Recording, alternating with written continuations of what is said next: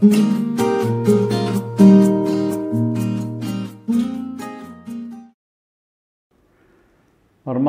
Cooperative സ്റ്റഡീസിന്റെ നാലാമത് accounting ക്ലാസ്സിലേക്ക് ഏവർക്കും സ്വാഗതം.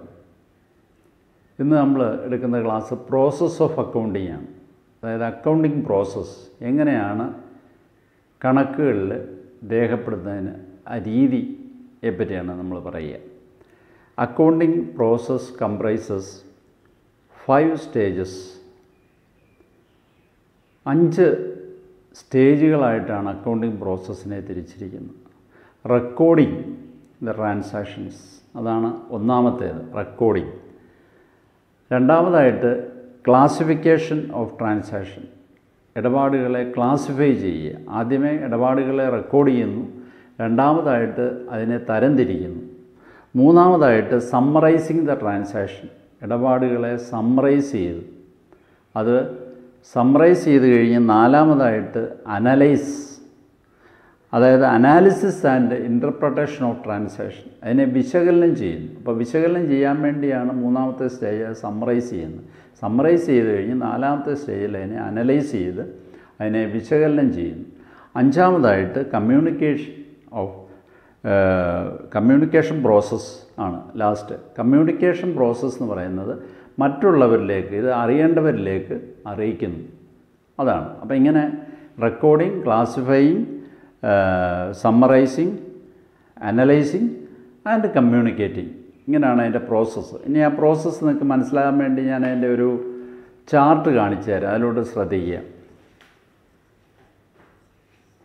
Process of accounting first stage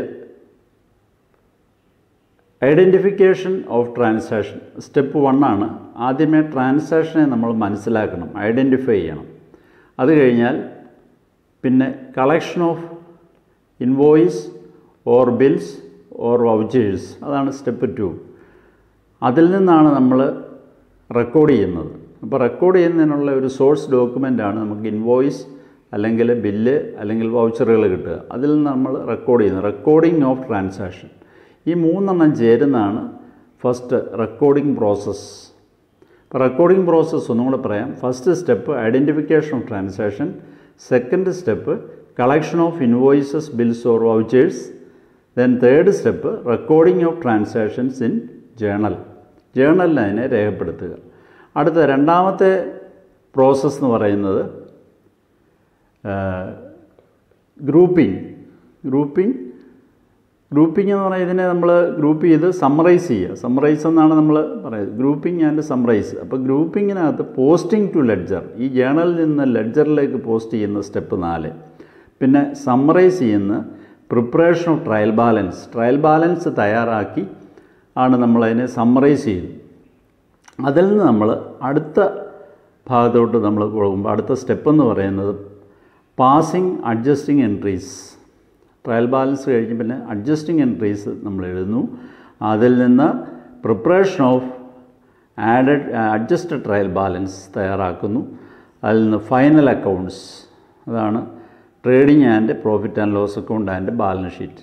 അതാണ് ഫൈനലൈസേഷൻ. സ്റ്റെപ്പ് എട്ടാമത്തെ സ്റ്റെപ്പാണ് ഫൈനലൈസേഷൻ.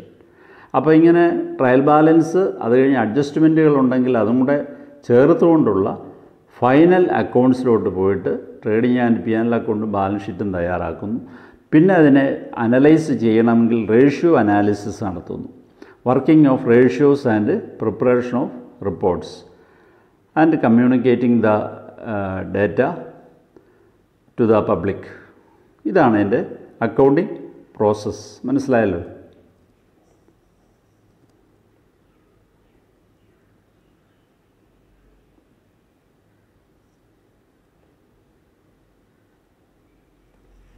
ഇനി അടുത്ത ക്ലാസ് എന്ന് പറയുന്നത് ഇതിൽ നിന്ന് നമുക്ക് എങ്ങനെയാണ് ഡേറ്റ എഴുതുന്നത്?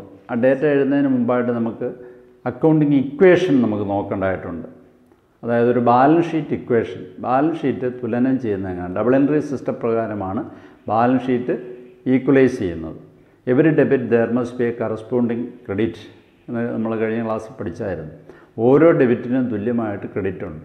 അതുകൊണ്ടാണ് ബാലൻസ് ഷീറ്റ് ടാലി ചെയ്യുന്നത്. അപ്പോൾ അത് നമ്മൾ അടുത്ത ക്ലാസ്സിൽ അതിനെപ്പറ്റി വിശദമായിട്ട് പഠിക്കും. അതുവരെ എല്ലാവർക്കും നന്ദി. വീണ്ടും അടുത്ത ക്ലാസ്സിൽ കാണാം.